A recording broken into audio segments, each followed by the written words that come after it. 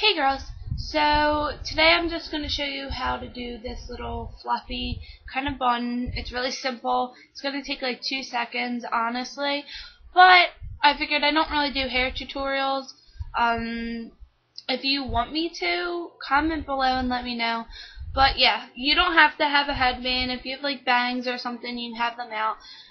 But I'm just going to get into it. So, first you're going to start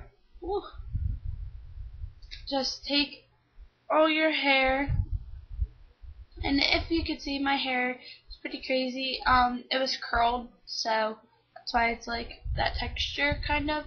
So you're just gonna take it, and it's kind of like a side bun, kind of, sort of. So you're just gonna take it up, and I'm gonna put my bangs back.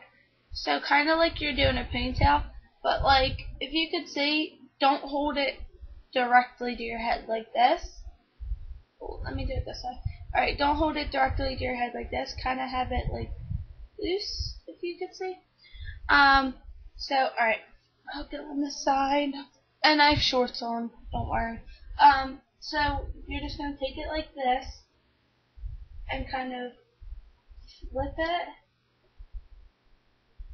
and then it's like really like loose and like bouncy. And it's it's kind of like a messy kind of thing and then just stick a headband in.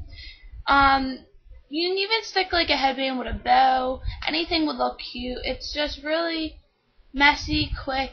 And if you could see I consider like it a side bun because like if I turn my head it's like not there on this side. So put it on your favorite side, whatever.